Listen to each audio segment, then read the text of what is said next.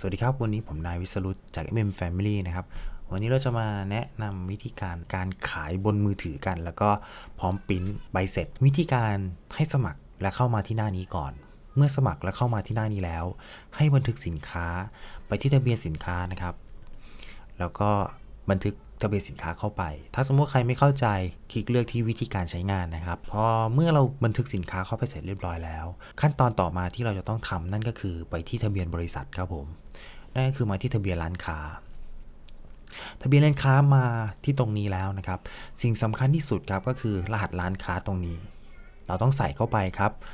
ใส่รหัสร้านค้าที่เราต้องการเข้าไป รหัสร้านค้าตรงนี้ เน้นย้ำว่าสำคัญมากและอันตรายนะครับ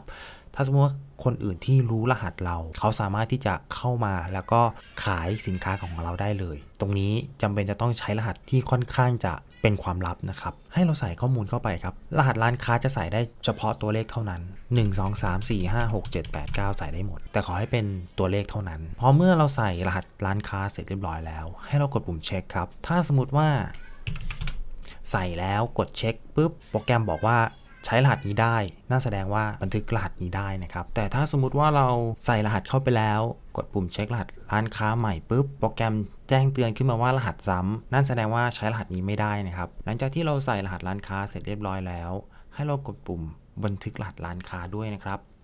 พอกดปุ่มบันทึกรหัสร้านค้าแล้วเท่านี้ก็พร้อมที่จะไปขายบนมือถือแล้วครับ ไปดูกันครับ วิธีการ มาดูที่หน้าจอมือถือนะครับ ให้เราไปโหลดแอปที่ Google Play ครับ พิมพ์คำว่าแย้มผิวคำพอเข้ามาครับ ตัวโปรแกรมก็คือชื่อว่า ODSoft หน้าขายสินค้า คลิกไปนะครับ เสร็จแล้วให้ติดตั้ง เมื่อติดตั้งโปรแกรมแล้วนะครับ ไอคอนโปรแกรมก็จะอยู่หน้าจอมือถือ ให้เราคลิกที่ตัวไอคอนครับ ที่ชื่อว่า OD Sell Mobile คลิกครับ เมื่อคลิกเข้ามาแล้ว วิธีการต่อไปนั่นก็คือ ใส่รหัสร้านค้าเข้าไปครับ เมื่อสักครู่นี้เราใส่เป็น 002 ให้เราคลิกเลือกที่ 002 แล้วกดปุ่มร้านค้าครับ กดปุ่มร้านอีกหนึ่งครั้งนะครับ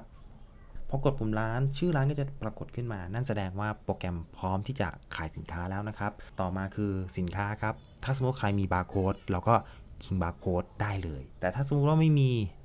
ให้เราคีย์รหัสสินค้าเข้าไปครับ แล้วก็กดปุ่ม enter รายการก็จะเด้งลงมาด้านล่างนะครับ ใส่เข้าไปอีกครับ แล้วถ้าสมมติเราต้องการใส่รหัสเดิม วิธีการก็คือยิงเข้าไปเหมือนเดิมครับ รหัสเดิม ข้อมูลก็จะไปปรากฏซ้ำกับรหัสเดิมนะครับ ถ้าสมมติใครที่ต้องการยกเลิกหรือลบรายการ เรากดปุ่มลบรายการก็จะหายไปนะครับ เสร็จแล้วถ้าสมมติต้องการกลับมาใหม่ เราก็ enter เข้าไปครับ ตรงนี้คือการใส่ และการยิงบาร์โค้ดนะครับ อันนี้คือยิงแบบง่าย ๆทำแบบร้านค้าปีกเลยนะครับ เอามือถือไปและเอาเครื่องปริ้นบลูทูธไป ส่วนเครื่องปริ้นบลูทูธเดี๋ยวเรามาดูกันนะครับว่าวิธีการใช้งานใช้งานยังไง อันนี้คือสอนแบบเบื้องต้นไปก่อน หลังจากที่เราใส่ข้อมูลออเดอร์เสร็จเรียบร้อยแล้ว กดปุ่มจ่ายเงินครับ เพื่อที่จะปิดบินใบนี้ กดครับพอกดเสร็จเรียบร้อย เรากลับมาดูที่หน้า OD Soft ของเรา ไปที่ หัวข้อประมวลผลครับ ไปที่หน้าขายต่อครับ เมื่อมาที่หน้าขายเราลองค้นหาดูครับ ตัวโปรแกรมก็จะปรากฏขึ้นมาครับ เป็นออเดอร์ที่เราใส่ไปเมื่อสักครู่นี้นะครับ เดี๋ยวผมจะเทสดูอีกทีหนึ่งครับ ค้นหาดู ตอนนี้มีเลข 7677 ใช่ไหมครับ เรากลับมาที่หน้าของมือถืออีกครั้งครับ แล้วเปิดบินใหม่นะครับ การเปิดบินใหม่ก็เปิดบินได้ต่อเนื่องเลยนะครับ หลังจากที่เรากดปุ่มจ่ายเงินไปแล้ว อันนี้บินเดียวครับ รายการเดียว แล้วก็กดปุ่มจ่ายเงิน เราลองค้นหาดูครับในหน้าเว็บเรียวไทม์เลยนะครับ ค้นหาขึ้นมาก็จะปรากฏออเดอร์ที่เราเพิ่งยิงไปเมื่อสักครู่นี้ คราวนี้ครับ กลับมาที่หน้าของโปรแกรม ถ้าสมมติเราต้องการที่จะใส่ลูกค้าเข้าไปด้วย วิธีการทำง่าย ๆนะครับ ให้เราใส่รหัสลูกค้าเข้าไปครับ ตรงช่องเดิมเลยนะครับ เราจะไม่เปลี่ยนช่องเพื่อใช้งานโดยง่าย เสร็จแล้วกดปุ่มลูกค้าครับ ข้อมูลลูกค้าก็จะปรากฏขึ้นมา เสร็จเรียบร้อยแล้ว เราก็ทำการ บันทึกรายการ บันทึกออเดอร์ บันทึกสินค้าที่ลูกค้าซื้อนะครับ เข้าไปช่องเดิมเลยครับ กด enter เสร็จแล้วปุ๊บเรากดปุ่มจ่ายเงินครับ พอกดปุ่มจ่ายเงินเสร็จเราลองดูสิครับ ค้นหาขึ้นมาครับ79 ก็จะปรากฏขึ้นมานะครับ นั่นก็คือรายการที่ลูกค้าคนนั้นซื้อไปนะครับ คราวนี้เรามาเริ่มการปริ้นกันบ้างครับ วิธีการปริ้นนะครับ โดยใช้เป็นเครื่องปริ้นตัวนี้ เครื่องปริ้นราคาไม่แพงนะครับ ผมซื้อมา ไม่ถึงพันบาท แต่จะไม่รองรับภาษาไทยนะครับ ลองไปหาเครื่องปริ้นที่รองรับภาษาไทย เพื่อจะปริ้นรายการเป็นภาษาไทยได้นะครับ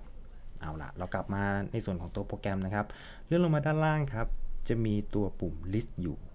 ครับกดปุ่ม list นะครับพอกดปุ่ม list ตัวเครื่องก็จะให้อนุญาตการเปิดบลูทูธนะครับแล้วก็กดปุ่มอนุญาตไปพอกดปุ่มอนุญาตเสร็จครับอ๋อลืมไปนะครับ ผมกดปุ่มเปิดตัว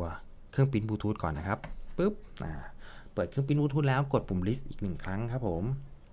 พอกดปุ่ม list อีกหนึ่งครั้งแล้วตรง select printer ตรงนี้ครับก็จะคลิกเลือกขึ้นมานะครับแล้วก็ไป connect ตัว bluetooth printer ครับพอ connect เสร็จเรียบร้อยแล้ว คลิกเลือกแล้วกดปุ่ม connect ครับผมพอกดปุ่ม connect ปุ๊บตัวโปรแกรมก็จะแจ้งเตือนขึ้นมาว่า พร้อมแล้ว ต่อมาครับเราเลื่อนขึ้นมาข้างบนช่องเดิมเลยครับ เราใส่ลูกค้าไปก็ได้ พื่อที่จะสะสมแต้มนะครับ ส่วนการสะสมแต้มเดี๋ยวผมจะมาแนะนำอีกทีนะครับว่าเราต้องการเซตค่ายังไงบ้าง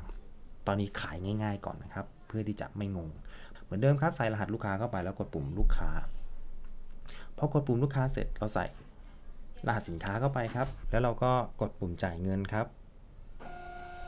เมื่อกดปุ่มจ่ายเงิน ตัวโปรแกรมก็จะปริ้นออกมาให้อัตโนมัตินะครับลองอีกสักบินหนึ่งนะครับ ใส่รหัสลูกค้าเข้าไปนะครับ เลือกลูกค้าขึ้นมา enter ครับ enter 3 order นะครับโอเคสามออเดอร์นะครับ เสร็จแล้วเรากดปุ่มจ่ายเงินครับ ตัวปินก็จะปินมาให้นะครับ เสร็จแล้วเราก็ดึงไปให้ลูกค้าได้เลย แบบฟอร์มนี้สามารถออกแบบแบบฟอร์มได้เองนะครับ โดยที่ติดต่อเข้ามาทาง OD Soft นะครับ ถ้าสมมติใครชอบอย่าลืมกดปุ่มไลค์ให้ผมด้วยนะครับ เป็นกำลังใจให้ด้วยนะครับสำหรับใครที่